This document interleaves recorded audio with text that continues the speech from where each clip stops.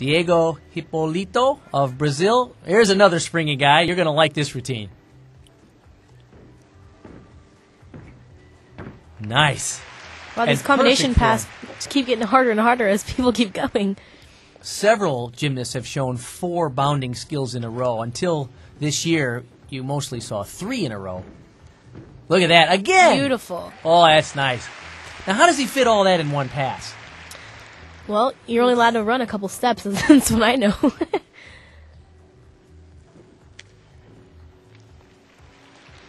and those bounding passes too. It's all about timing, where your shoulders are.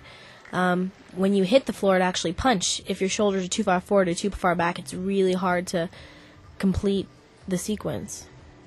And typically, when you're tumbling forward, it's really hard to time that punch on the floor, like you say, relative to where your shoulder position is to set you up for the next skill. So when you imagine doing four in a row, how precise you have to be. Handspring double Beautiful front at the pass. end. I love landing. that.